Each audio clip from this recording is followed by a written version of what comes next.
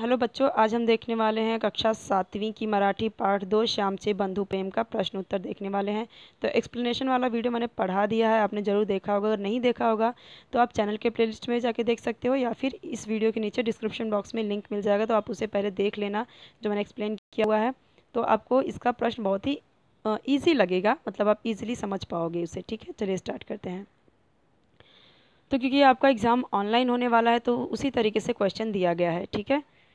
तो कृति वन पुढील उतायाच्या आधारे सूचना प्रमाणे कृति करा. तो बिल्कुल जैसा आपको आने वाला है ऑप्शनल वैसे ही है. लेखा लेखकांचे नाव, लेखक का नाम क्या है? तो साने गुरु जी आपको अलग अलग ऑप्शन आ सकता है तो आपको पर यही लिखना है, साने गुरु जी सुट्टी संपली, उन्हा ल्याची. श्याम शिकावयास गेला, कहाँ गया था? तो आपको तीन चार ऑप्शन आ सकता है तो आपको याद रखना है, दापोली गया था श्याम. आठ वलेले वचन, गंधवती पृथ्वी. ठीक है? चौकटी पूर्ण करा। श्यामला, थंडीच्या दिवसांत न मिलना या गोष्टी. तो क्या क्या नहीं मिलता था ठंडी के टाइम में? जैकेट, मफलर, गरम कोट, ये सब श्याम को नहीं मिला था उसके बचपन में. खालीला खालील प्रश्नांची उत्तरे लिहा. नवीन पाऊस सुरू होण्याचा मातीवर काय परिणाम झेल होतो? तो जब इस तरीके से नवीन पा, पाउस जब बारिश होती है शुरू शुरू में तो कैसा होता है? तो नवीन पाउस शुरू झाला की मातिला रम्य सुंदर गंध ये तो तो बहुत ही सुंदर खुशबू आती है मिट्टी से। श्याम ने कोणता निश्चय केला होता? उत्तर आपल्या धाकट्या भावाला नवीन कोट किंवा सदरा शिवून न्यायाचा असा श्याम निश्चय ने केला होता. तो अपने भाई के लिए नवीन नया कोट सिलवा के जाएगा ऐसा उसने निश्चय किया था। माझा अभ्यास व्याकरण, अभी थोड़ा सा हम व्याकरण देखते हैं। समानार्थी शब्द देखते हैं। वर्षा पाउस ढग, मेघ, नयन, तप्त या उष्ण, ठीक है? तो यहाँ पे क्या है, यहाँ पे? क्या बोला गया है? यहाँ पे देखो, वर्षा का मतलब पाउस बारिश होती है, ढग, मेघ जो होता है, बादल, मेघ, उसको बोलते हैं। और यहाँ पे देखते हैं हम, तप्त का उष्ण होता है, ठीक है? और ये, आप, ये सब समानार्थी शब्द हैं। ठीक है? ये नयन का ये नहीं आएगा। नयन तो आँख होता है तो ये नहीं। तप्त का उष्ण ठीक है? तप्त उष्ण। गटात न बसनारा शब्द ओढ़खा व लिहा तो शब्द गटात का बसत नहीं थे सांगा। तो इसका क्या होगा? इस तरीके से आएगा तो आ, देखो यहाँ पे जैसे क्या लिखा हुआ है यहाँ पे आपको क्या एक वचन है मतलब क्या है? सर्वनाम है कि संज्ञा है, वो लिखना है, ठीक है? समीरा, विनीता, त्यानी, निखिल, त्यानी, ये यहाँ पे लिखा गया है। त्यानी, हे एक सर्वनाम है। त्यानी क्या है? सर्वनाम है। मी, सात पुते, त्याने, दिला। तो अब यहाँ पे सात पुते क्या है?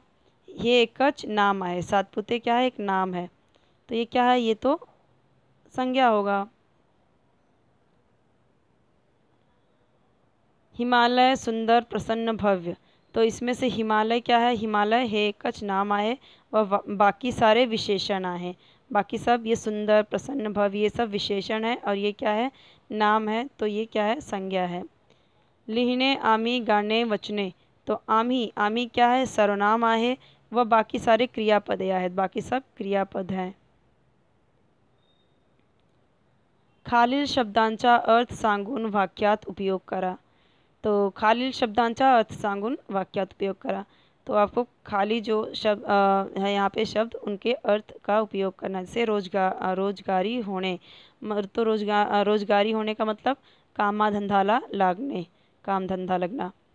तो इसका वाक्य बनाना है श्यामचे शिक्षण पूर्ण झाल्यावर तो एका कंपनीत रोजगारी झाला। जब श्याम की शिक्षा पूरी हो जाएगी तो उसे एक कंपनी में रोज़गार मतलब जॉब मिल जाएगा। डोड़े अश्विनी नाने तो इसका मतलब क्या होता है? डोनियातन डोनियातुन अश्रु ओघनड़े तो इसका मतलब क्या है? इसका वाक्य बनाना है, श्याम और धाकट्या भावाम धिल अपार प्रेम पाहुन आइचे डोले अश्विनी नहाले। तो बच्चों, इसका मैंने जो आपका वर्कबुक है ना, उसका भी मैंने क्वेश्चन आंसर बना दिया है तो वो भी आप ज़रूर देख लेना, ठीक है? तो आप प्लेलिस्ट में चेक करोगे तो आपको मराठी के, मराठी का प्लेलिस्ट मिलेगा, उसमें आपको सारा मिल जाएगा। काते लिहा, श्यामचे डोड़े अश्विनी नहाले होते। तो इसका रीज़न लिखना है उत्तर उत्तर इसका है, उत्तर के आगे इस तरह से डैश कर देना ऐसे। उत्तर, धाकट्या भावचा कोट, शिवून हातात आलाल, आला जळण्याच्या पैशांत सारा खर्च भागला. आपण केलेला निश्चय पूर्ण झाला. म्हणून कृतार्थ भावने भावने श्यामचे डोले अश्रु आले तो जब हाथ में लेता है तो सोचता है कि देखो मैंने जो सोचा था वो पूरा कर लिया. जैसे ही कोट हाथ में लेता है तो उसकी आँखों में आँसू आ जाते हैं. माझे मत. तुम्हाला पावसाळ्यातील पावसाळ्यातील कोणकोणत्या गोष्टी आवडतात तो यहाँ पे बोल, बोला जा रहा है कि तुम्हाला पावसाळ्यातील कौन कौन गोष्टी आवडतात? तो इसका आंसर क्या होगा? पावसाळ्यातील मला सर्वात आवडणारी गोष्ट म्हणजे पहिला पाऊस पडल्या पडल्यानंतर मातीचा येणारा सुगंध त्याचप्रमाणे पसरलेली हिरवण, मुसला, मुसलाधार, पावसात भिजायला व खेळायला आवडते. तो ये ये पसंद है. मतलब कि यहाँ पे पूछा गया है, तुम्हें बारिश में क्या क्या करना? कौन कौन कौन क्या क्या क्या करना पसंद है? तो ये सारी चीज़ें पसंद है. उसकी मिट्टी मिट्टी की खुशबू पसंद है. और यहाँ पे जो सुग पाउस में भीगना, खेलना, ये सब पसंद है. ऐसे आपको भी लिखना है। पुढील याच्या आधारे सूचना प्रमाणे कृति करा. आकृति पूर्ण करा. तो यहाँ पे देखो, पाया जड़ून उड़ी, मारे गेली तो पाव, जो मतलब कि पाँव के पास में, जल, जब वो पानी में से जा रहे थे तो पाँव के पास में क्या उड़ी मार के गई थी? नानेटी, जो कि एक सांप थी, ग्रीन कलर की। नानेटीचा रंग कौन सा था? हिरवा, हरा हरा कलर की थी उसका रंग। ये आपको ऑप्शन आएगा इस तरीके से, ठीक है? इस तरीके से आपको ऑप्शन आएगा ना गूगल फॉर्म पे तो वो उसका आंसर इस तरीके से आपको लिखना। यहाँ पे कई सारे ऑप्शन रहेगा तो आपको जो राइट ऑप्शन है, वही क्लिक करना है। पायाना खूपत होते, क्या पैरों में क्या चुभ रहा था, दगड़ी जो कंकड़ थे। पानी वाहत होते, खड़खड़ खड़खड़, ठीक है, हमने देखा था, इस तरीके से पानी बह रहा था और अलग अलग हमने देखा था कि बादल कैसे गरज रहे हैं, वो सब देखा था। श्याम भावास अनार होता, खाऊ, खेलने, रंगीत चित्रा के, पुस्तकें तो यहाँ पे बोल रहा है कि श्याम भावास अनार होता। तो अपने श्याम मतलब यहाँ पे हम देखा था श्याम अपने भाई के लिए क्या क्या ला सकता था? खाओ खेलने के लिए कुछ, और रंगीन पुस्तकें, ये सब ला सकता था, पर उसके पास पैसे नहीं थे। नाल्या प्रमाणे में ही हृदय घेऊन जात हो तो तो यहाँ पे देखो, इस तरीके से ऑप्शन आएगा आपको। थ्री ऑप्शन चार ऑप्शन रहेगा। आपके पेपर में तो आपको जो राइट ऑप्शन है, वो लिखना है तो हृदय आएगा। क्या आएगा? हृदय। ती आईची फलद्रूप झालेली शिकवण होती. तो यहाँ फलद्रूप यहाँ पे देखो तीन ऑप्शन दिया गया है ना इसलिए फलद्रूप आया। तो ये हमने देखा था कि आई के शिकवण का मतलब उसकी शिक्षा का ये फल था। खालीन प्रश्नांची उत्तर लिया आपको आ, ऐसे भी आ सकता है कि इस तरीके से जो प्रश्न दिया जाएगा वैसे थोड़ा थोड़ा लिख दिया जाएगा और ऑप्शन दिया जाएगा कहाँ पे कौन सा भरेंगे। तो ये आपको कुछ इस तरीके से आएगा। क्वेश्चन देख लीजिए। श्यामला चालण्याचे श्रम का वाटत नवते नव्हते श्यामने धाकट्या भावासाठी नवीन कोट शिवून घेतला होता। आईला किती आनंद होईल या सुख स्वप्नात तो दंग होता। म्हणून श्यामला चार चालण्याचे श्रम वाटत नव्हते तो। इतना खुश था वो कि वो चल रहा था और उसको श्रम का पता ही नहीं चल रहा था कि मेहनत भी लग रहा मतलब इतना चल रहा था फिर भी उसे थकावट नहीं महसूस हो रही थी। काते लिहा? रीज़न लिखना है यहाँ पे, कारण लिखना है। श्याम ज्यांच्या घरी राहायच्या त्यानी त्याला जाऊ नको असे म्हटले। तो इसका क्या उत्तर होगा? भर पावसात नदी नाल्या पूर आले असतील पया उतार नसेल, म्हणून श्याम ज्यांच्या घरी राहायच्या त्यानी त्याला जाऊ नको असे म्हटले। तो यहाँ पे इसका उत्तर दिया गया है। पिसईच्या पया पिसईच्या पर्या दुथडी भरून वाहत होता. तो भरपूर पाऊस पडत होता व पाण्याला भा फार ओढ असल्यामुळे पिसईच्या पर्या दुथड़ी भरून वाहत होता. तो चार दोनों तरफ़ से मतलब पानी भरा हुआ था इस तरीके से. अभी व्याकरण का थोड़ा देख लेते हैं. खालील शब्दांचा अर्थ सागुन, सांगुन वाक्यात उपयोग करा. फलद्रुप फलद्रुप का मतलब क्या होता है? फला फड़ाला आलेल यशस्वी. और इसका वाक्य क्या होगा? राम परीक्षित पहिल्या क्रमांकाने पास झाला, त्याने अभ्यासातील मेहनत फलद्रूप झाली. तो यहाँ फलद्रूप का मतलब होता है कि मतलब किसी चीज़ का रिज़ल्ट पाना, फल मिलना. खाली दिलेल्या शब्दांच्या विरुद्ध अर्थाचे शब्द चौकटीतून शोधून लिहा. तो देखो यहाँ पे इसका क्या करना है हमें? इसका विलोम शब्द लिखना है. जैसे कि ये सब दिया गया है, इसका विलोम शब्द लिखना है.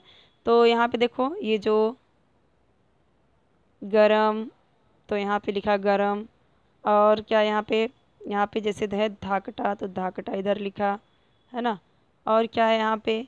और यहाँ पे जैसे दुर्गंध तो दुर्गंध। और हरवणे तो हरवणे किधर है इसमें? हरवणे नहीं है है ना? तो इतना, इसका क्या होगा? गरम, इन सब का क्या करना है हमें? विलोम शब्द लिखना है। तो यहाँ पे देखो। नवीन यहाँ पे है तो नवीन का यहाँ पे है। देखो यहाँ पे नवीन है तो नवीन किस, यहाँ पे ऐसे आएगा नवीन। ऐसे आएगा। और क्या यहाँ पे? दुर्लक्ष तो यहाँ पे लिखा। और विस्मृति तो यहाँ पे लिखा। तो अब इसका हम देख लेते हैं एक एक का विलोम शब्द। तो गरम का क्या होगा यहाँ पे? यहाँ पे एक गरम दिया हुआ है तो गरम का विलोम शब्द ठंड। हरवणे का सापने दुर्गंध का सुगंध, धाकटा का विलोम थोरला। ठीक है? ये विलोम शब्द है। जैसे अपोजिट वर्ड है ना? विरुद्धार्थी शब्द। नवीन तो जूना, दुर्लक्ष लक्ष्य विस्मृति स्मृति, ये क्या है इसका विलोम शब्द है? तो विलोम शब्द के लिए भी आपको ऑप्शन आएगा कई सारा तो आपको याद रखना है कि क्या होगा, ठीक है? आपल्या सभोवती अनेक गरीब मुले आढळतात तुम्ही त्यांना कशा प्रकारे मदद कराल? तो हमने यहाँ पे बोला गया कि बहुत सारे गरीब बच्चे होते हैं तो तुम उनकी मदद कैसे करोगे? किस प्रकार? सो सभोवता सभोवतालच्या गरजू गरीब मुलांना आम्ही आमच्या कडील कपडे खेळणी देऊ. तसेच त्यांना शिक्षणासाठी पुस्तकाची गरज असते, तर आमच्याकडील वह्या पुस्तकांची मदद करूँ, अशा प्रकारे मदद करूँ. तो क्या क्या देगा यहाँ पे बताया गया कि किस तरीके से कपड़े देंगे, खेलने के लिए देंगे, पुस्तक देंगे, जो हमारे पास रहेगा, जो हमारे हम पढ़ के आगे बढ़ गए तो आप जैसे अभी सेवन्थ में एट में जाओगे तो अपनी सेवन्थ की बुक गरीब लोगों को दे दो। आप बड़े हो गए तो आपके कपड़े छोटे होने लगे तो आप गरीब लोगों को दे दो। कृति पुढील उता याच्या आधारे सूचना प्रमाणे कृति करा। आकृती पूर्ण करा। आईने दिली क्या दिया आईने? धोतर। कोट आ, कोट कोणासाठी शिवून आणला? पुरुषोत्तम। पुरुषोत्तम के लिए कोट सिलाया गया था मतलब जो छोटा भाई था श्याम का, उसका नाम क्या था? पुरुषोत्तम। आइट स्वर कातर, कठोर शब्द में बोला था ना श्यामाच्या भावाचे नाम पुरुषोत्तम। तो देखो, यहाँ पे कई सारा ऑप्शन आएगा, पर आपको क्या करना है, जो राइट ऑप्शन है, उस पर टिक करना है, ठीक है? चौकट पूर्ण करा। श्याम ने आणलेला नवीन कोट बघून त्याच्या आई वडील आई वडिलांच्या मनात निर्माण झालेले प्रश्न। तो क्या यहाँ पे बोला गया? श्याम जब आता है नवीन कोट लेके बाँध के तो कौन कौन से मन में क्वेश्चन यहाँ पे होता है माँ बाप के उसके? तो वो क्वेश्चन बताना है। तो कौन कौन सा आया था मन में? कर्ज काट ले का। उधारी शिवन ना ही ना आणलास किसी से उधार तो नहीं लिया ना? उधारी में नहीं शिवाया ना? फ़ीस में से तो नहीं दिया पैसा? ये सारे क्वेश्चन उसके माँ बाप के मन में आता है और पूछते हैं। आहिला आईला गही वरुण आलियावर आइचिया मना आलेले प्रश्न। तो यहाँ पे आई के मन में क्या आता है कि जब आ, मतलब कि जब इस तरीके से दुखी हो जाती है रोने लगती है तो क्या मन में आता है? क्या बोलती है आई? श्याम तू यानी मोटा ना आइस मतलब तू एज से बड़ा नहीं हुआ। शिकुन मोटा ना आइस सीखने से पढ़ लिख के भी बहुत बड़ा नहीं हो गया। पैसे से भी बहुत बड़ा नहीं हो गया। तो ये सारे मन आता है आई के मन में। योग्य पर्याय ओनखुन लिहा। तो आई ने कोरडे कोरडे मतलब सूखा। क्या दिया था? शर्ट धोतर सदरा। तो धोतर दिया था जब वो नहा के उठा। आता माझा पेंसिल पेन वही. तो क्या? पेंसिल हरवड़ा नहीं हमने देखा था ना? का ते लिहा. श्यामने सांगी सांगितलेली हकीकत एकूण आईला गहीवरून आल. सो श्यामने खाऊसाठी दिलेले पैसे खर्च न करता धाकट्या भावला नवीन कोट शिवला होता. तो यहाँ पे आ, आई को क्यों रोना आ गया जब कोट देखती है तो? क्योंकि वो सोचती है कि श्याम ने खाऊ के पैसे का जो उसे मिला दिया गया खाने के लिए, उसने खर्च नहीं किया, बल्कि उसने क्या अपने भाई के लिए नवीन सदरा सिलाया, कोट सिलाया। खालील शब्दांचा अर्थ सांगून वाक्यात उपयोग करा। तो दौड़ने तो का, क्या होगा यहाँ पे? इसका खाली शब्द अर्थ, इसका अर्थ क्या होगा? वया, वाया, घालवणे, ठीक है? तो आपको कई सारे ऑप्शन आएँगे तो आपको जो राइट ऑप्शन है वही क्लिक करना है, ठीक है? तो उत्तर, इस उत्तर कैसे होगा? इसका वाक्य बनाना है आपको, मी परी परीक्षेचा अभ्यास केला नाही, म्हणून माझे एक वर्ष दौड़ला.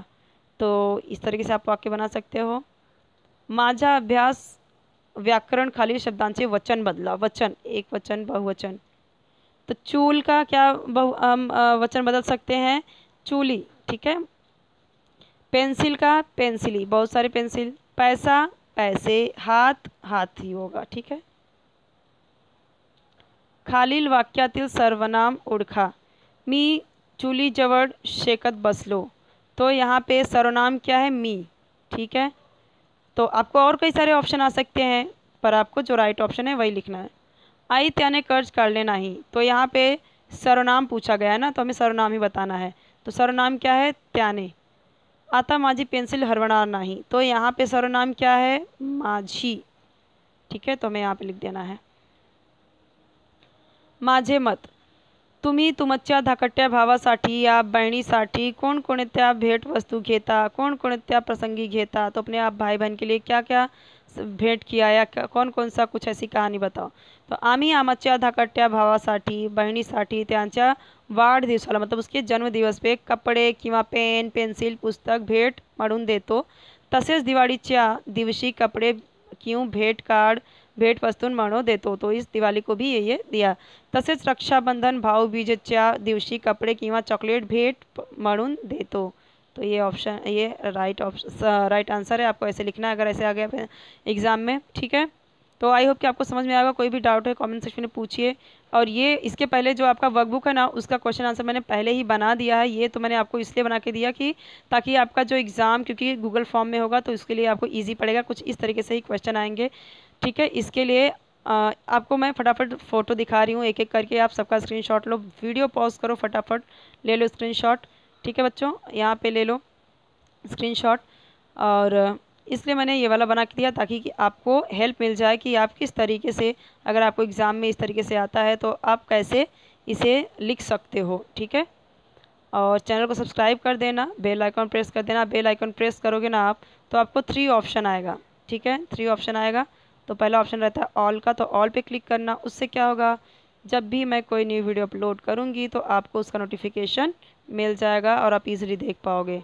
ओके वीडियो को पूरा देखना, नहीं समझ में आया तो फिर से मुझसे पूछ लेना। कोई भी डाउट रहे तो पूछ लेना और वीडियो को लाइक भी कर देना। अपने फ्रेंड्स के साथ शेयर कर देना। ठीक है?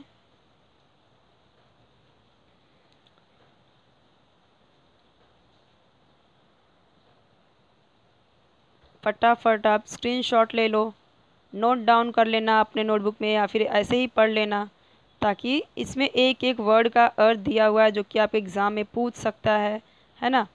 और जो जैसे समानार्थी, विरुद्धार्थी, वो सब बहुत इंपॉर्टेंट है। वैसे मैंने आपके वर्कबुक का भी कंप्लीट करवा ही दिया है। तो उससे पूछे या फिर कुछ अलग पूछे तो आपको हेल्प मिल जाएगी। पूरा मैंने आपका ये चैप्टर कवर करवा दिया है क्वेश्चन आंसर का। वर्कबुक का भी और जो उससे अलग पूछ सक पूछ सकते हैं बुक से, उसका भी सब इसी में हो गया है, ठीक है? और वर्कबुक का तो अलग है। तो उसका मैं आपको लिंक दे दूँगी इस वीडियो के नीचे और जो मैंने एक्सप्लेन किया हुआ है ना, उसका भी लिंक मैं दे दूँगी। तो इस या फिर आप चैनल के प्लेलिस्ट में भी जाके देखोगे तो आपको मराठी का मिल जाएगा। तो आप वो भी देख लेना, वहाँ से भी।